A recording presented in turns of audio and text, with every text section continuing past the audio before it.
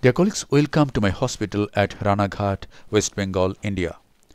This is phacoemulsification of a soft cataract with grade 2 nuclear sclerosis. Let us observe the surgical steps. This is the main incision with a 2.8 mm keratome on the posterior aspect of the limbus. And now 2% hydroxypropyl methyl cellulose is injected into the anterior chamber through the main incision. Now this is a side port on the right side of the main incision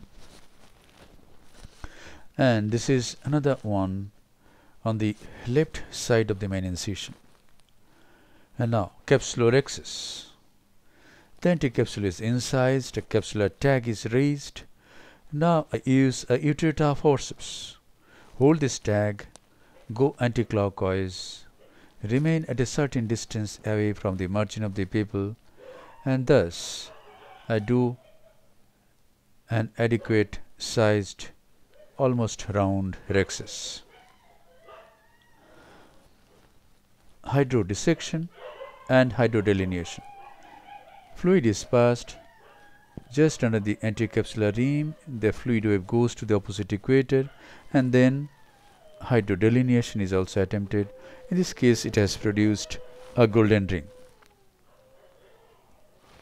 And now the nucleus is rotated Complete rotation means the capsulocortical adhesions have been broken. And now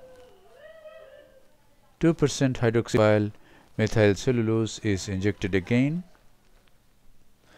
Then the tip of the phaco handpiece is introduced into the anterior chamber.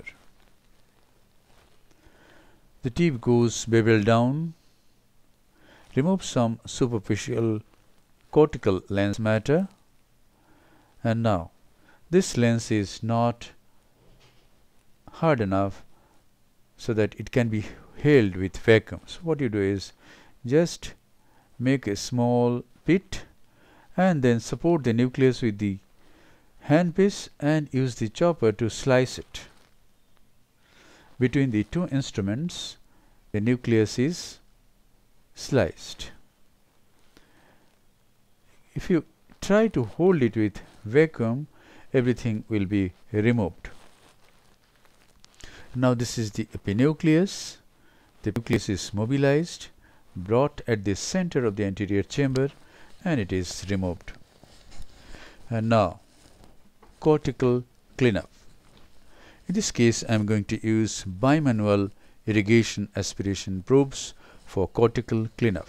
Here it is. The irrigation is on the right side and aspirating probe is on the left side. And very easily you can remove the cortex using the bimanual irrigation aspiration.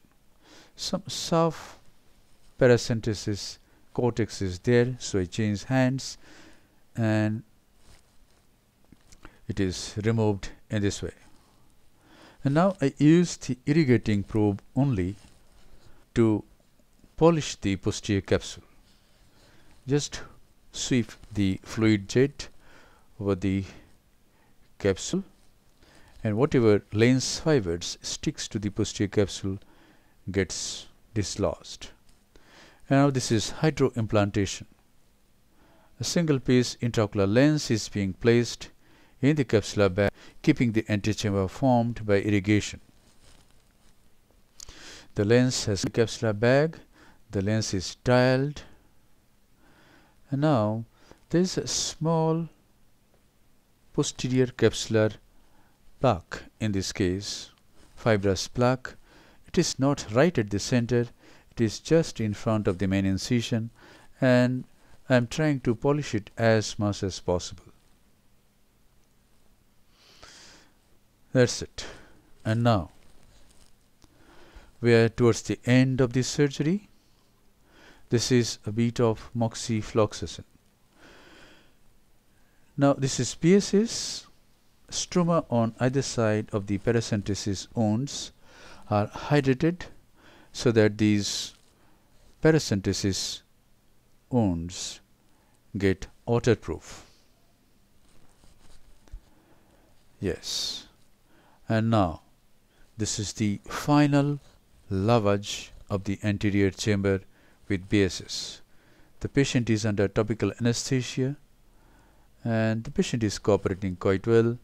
The patient will move his or her eyes now and then but this is normal we have to learn to do surgery with this much eye movements. And now is the this is the final lavage thorough cleaning of the viscoelastic substance from the corneal endothelium is done at this time. The antechamber is formed nicely. Now take a cotton tipped Johnson wort check the wounds there should not be any leakage from any side. Then apply few drops of moxifloxacin and conclude the case. Thank you very much for watching. Hope this video will help you in developing your surgical skills. Please be a great surgeon and serve the mankind with great skills